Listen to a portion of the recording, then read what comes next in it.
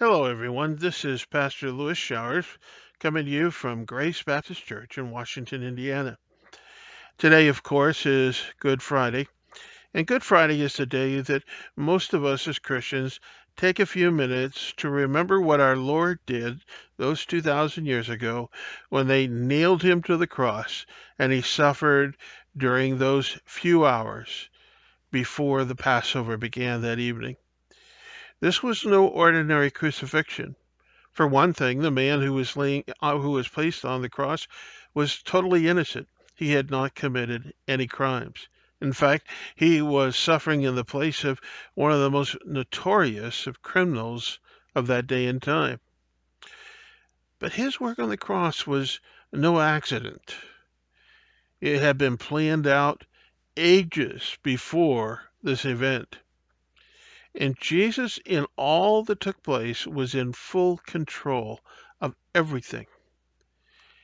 Nothing happened to Jesus from the time he was betrayed to the time he said, It is finished, and he gave up his spirit.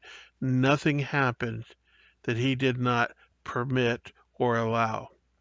For as God in flesh, he had the authority and the power to have freed himself at any one given time if he had chosen to do so. But we thank God that he did not. Now, as we think about the cross of which Christ died, we can learn some, I believe, some valuable lessons that can help us to keep in mind and remember what our Lord did there on the cross. In just a moment, I'm going to be taking you to a message which speaks about the lessons that we can learn from the cross of Jesus Christ. Some of the older churches are getting rid of the cross. They don't want to put crosses at least on the outside of the building because they say that the cross is an offense to many. And we don't want to offend anyone. Therefore, we'll get rid of the cross, and therefore people will feel free to be able to come into our congregation. What they fail to realize is without the cross, there is no reason to have a congregation. The cross is so very important and is such a centerpiece to us who are Christians. You know, there have been many means and many ways that man has devised to torture and to kill people over the years. Some of them I remember learning about in seminary, and I can tell you right now, you don't even want to even come close to even hearing about them. But it has been said that of all the ways that man has come up and has contrived to kill a person, the cross was the epitome and why, out of all the various ways that man has to kill individuals, did God select the cross?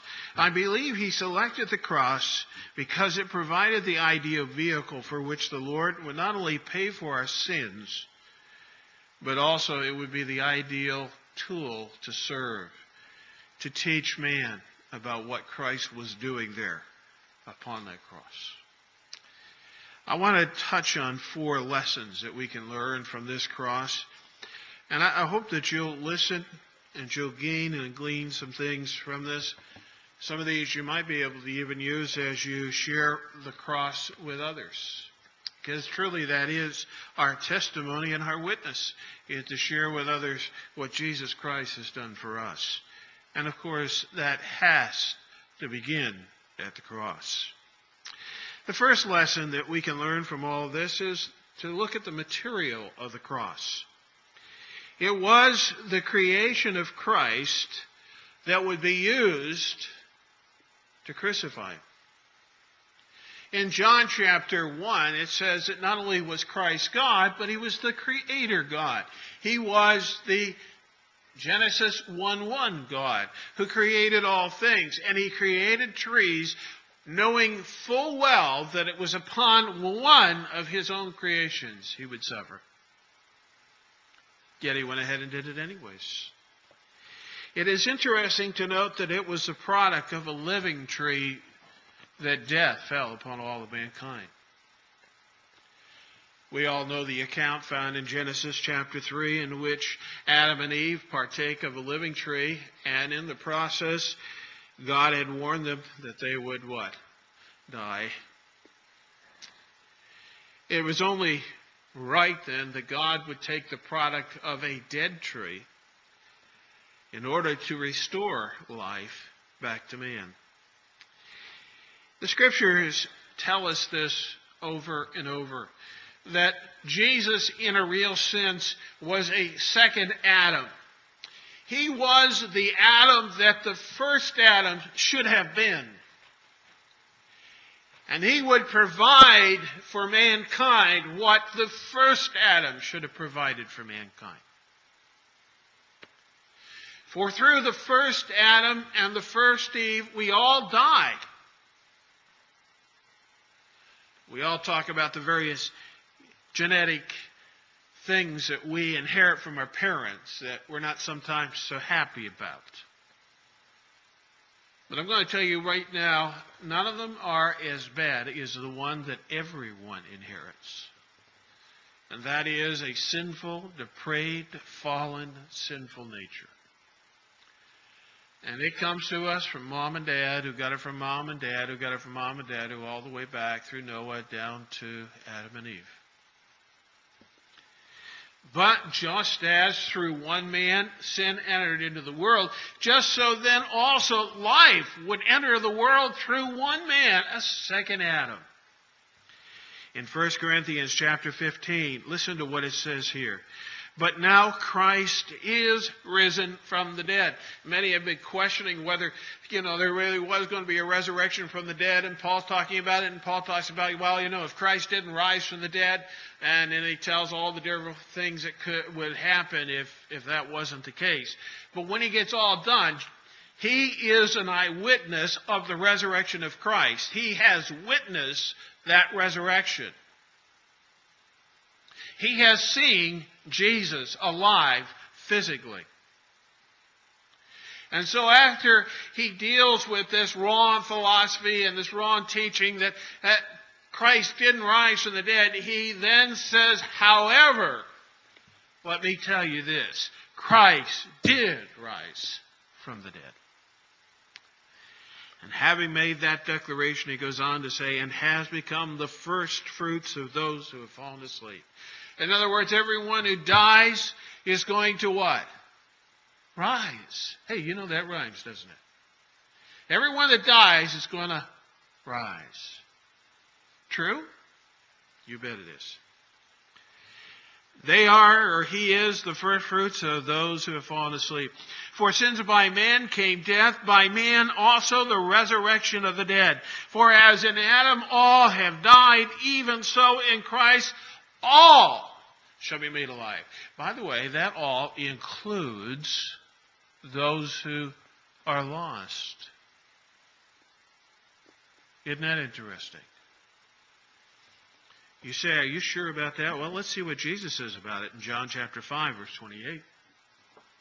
Do not marvel at this, for the hour is coming at which you are, those who are in the grave, or all who have died and are in the graves, will hear his voice and they're coming out of the graves. And those who have done good to the resurrection of life, and those who have done evil to the resurrection of condemnation. All, though, shall be restored back to life again. Because Christ rose from the dead, the power of his resurrection is so powerful that no one who dies can possibly resist it.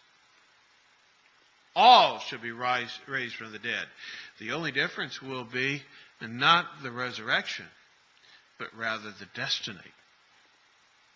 Some will be raised to life eternal, what man was created originally to enjoy, and some will be raised to total condemnation to enjoy what Satan provided for them.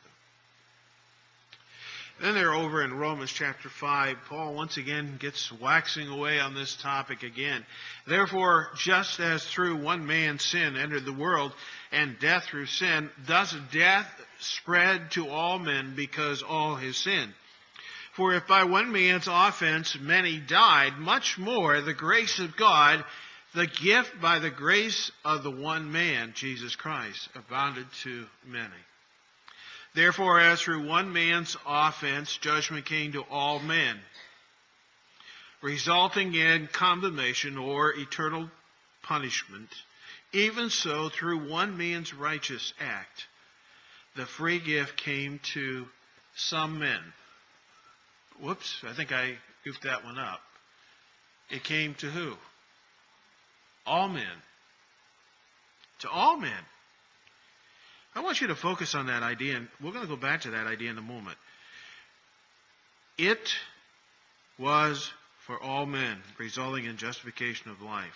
For as by one man's disobedience many were made sinners, so also by one man's obedience many will be made righteous. The second lesson we can learn from the cross is the shape of the cross.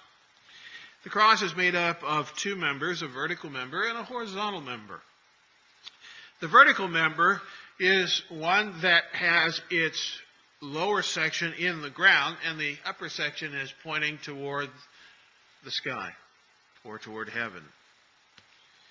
One end then buried in the ground, the other pointing toward heaven. You know what this speaks of? I really believe. I believe God doesn't make any mistakes. And I think the cross taught a lot about Jesus and what he was doing. This vertical member speaks of the dual nature of the one who was crucified. It was buried in the ground, speaking of the fact that Jesus was truly a man, just like every one of us, physically a human being. Yet the side that points toward heaven indicates that not only was he a man, but he was also who? God as well. And uh, if you want some ideas along this line, you know, it's interesting. The disciples don't seem to pick up on this idea that he is God and that God is in their midst. It's only after the resurrection that they gather this idea. But what is particularly interesting is his enemies get the point. Listen to what John chapter 5, verse 16 through 19 says. For this reason, the Jews persecuted Jesus they sought to kill him because he had done these things on the Sabbath. He had broken Sabbath law, not God's Sabbath law, man's Sabbath law. But Jesus answered and said, My Father has been working until now, and I have been working. And therefore the Jews sought all the more to kill him, because he not only broke the Sabbath, but he also said that God was his Father. In other words, I am the Son of God. And by doing this, he made himself equal with God. Yeah, it's interesting. While the disciples are all hiding after Christ is put into the tomb, hiding for fear of the religious leaders and the fact that they might be next, what are the religious leaders doing? They're going to Pilate, and what are they doing? They're saying to Pilate, while this man was alive, he said he would rise three days after he died. See, they understood it. They got it. They got the point. The sad thing was they understood it, but they didn't embrace it. And it did them no good. The horizontal member, the cross member, has its lines horizontally. And if, if we go along the horizontal line and we continue to go both directions, we will meet on the opposite part of the world. What does that speak about? It speaks about what the atoning work on the cross was designed to do. It was designed to reach all mankind, both Jews and Gentiles. Boy, Israel missed out on that one. They thought God had just come to save them. Uh uh-uh. uh God came to save the whole world. The third lesson we can learn from the cross is the work of the cross. You see, the work of the cross was to carry out justice. The work of the cross was to punish criminals for the crimes that they committed. whether we like to admit it or not, and this is one of the greatest hurdles that mankind, fallen mankind, the lost, have to deal with. One of the greatest hurdles they had to deal with is the fact of admitting that they are criminals in God's judicial system. It's been said that uh, if you go into most prisons and you talk to most prisoners, unless they're brutally honest, they will tell you that they're in prison, but they didn't really do it. It really wasn't their fault, or they were they're innocent. That's built into us. That's the lie that Satan fed, and that's a lie that we grow up with. We don't like to admit that we are criminals deserving of the punishment that Jesus went through, not just for three hours, but for all eternity.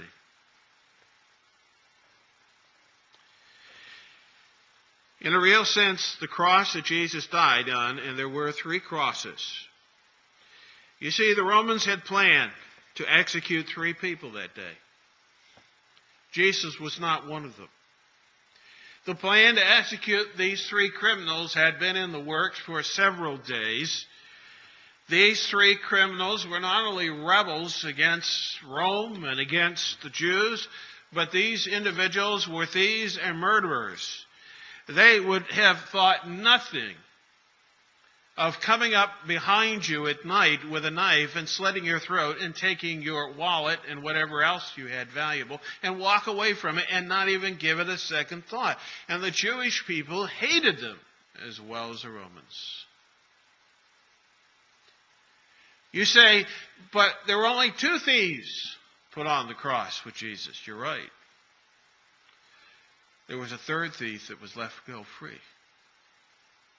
His name was Barabbas. You see, the crucifixion that the Romans had planned was Barabbas and his two compatriots. And Pilate, knowing that Jesus was innocent and not deserving of the crucifixion, thought he had finally come up with a scheme by which he could free Jesus. And he said, I'll tell you what, it's my custom to let one prisoner go free every year. He said, um, I'll give you the choice. You can let Barabbas go free, or you can let Jesus go free. And knowing how much the Jews hated Barabbas, he thought for certain that they would go with Jesus. What he didn't realize is that the Jews, particularly the religious leaders, hated Jesus more than they hated Barabbas. And Pilate said, Go forth, take him out, crucify him on the cross of Barabbas, and let Barabbas go free. By the way, according to Roman law, that if such a pardon was given, in essence, it virtually wiped clean your record. Barabbas was now totally free from any punishment, from any imprisonment, from any retaliation for what he had done. And in a real sense, that's exactly what Jesus Christ did on the cross for every one of us because it wasn't just Barabbas' cross, it was our cross that he died on. And like Barabbas, because we have put our faith and trust in Him, we have our slate of all of our crimes and sins that we've committed against God wiped clean. Look at what Romans chapter 3 tells us on this. This is wonderful. For all have sinned and fallen short of the glory of God. All. Here's that term again. Being justified, though, freely by his grace through the redemption that is in Christ Jesus, whom God sent forth as a propitiation by his blood, through faith to demonstrate his righteousness, because in his forbearance God had passed over the sins that were previously committed, to demonstrate at the present time his righteousness. Jesus Christ said, Hey, you, you, you, all of you, you've committed a crime, and God's justice system has to be met and the only way that you can go free is that the penalty has got to be paid. And Jesus said, I'll pay it. In fact, he goes on to say that he might be, that is, God the Father, might be the just and the justifier of the one who has faith in Jesus our Lord. You see, we're justified. Price has been paid. We've been pardoned. We now go free. But look at the cost in order to be able to set us free. It is also that work of the cross and education to the masses that the ordeal of these crimes and the death that they agonized and suffered through all point to the severity of sin of each and every one of us and how God views the sin.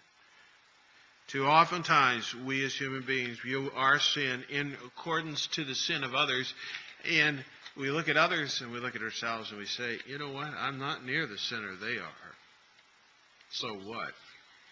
In God's eyes, we are vile, refless, vile, unprofitable people apart from what Jesus Christ can do. Finally, the fourth lesson is the vacancy of the cross. The original cross is gone, by the way. I know that many uh, Catholics believe that they still have uh, splinters of the original cross. Somebody once predict, figured it up that all the splinters that are located in various churches around the world that are supposedly splinters of the cross, if they were all added together, you could build several houses with them. I don't believe that the cross really meant anything to the Romans or the Jews or the disciples. The disciples would have had no say over the cross. The cross probably was used over and over and over to the point it wore out and it was and therefore probably thrown into the valley of Gehenna and burned and consumed. But that empty, vacant cross means a lot to us. Because what it means is that when Jesus was finished with that vehicle of atonement, he declared it as such. You know, we differ from a certain group that has cross with Jesus still on it. They believe Jesus' work isn't finished. Jesus must be re-crucified. Listen to what the Bible says, though.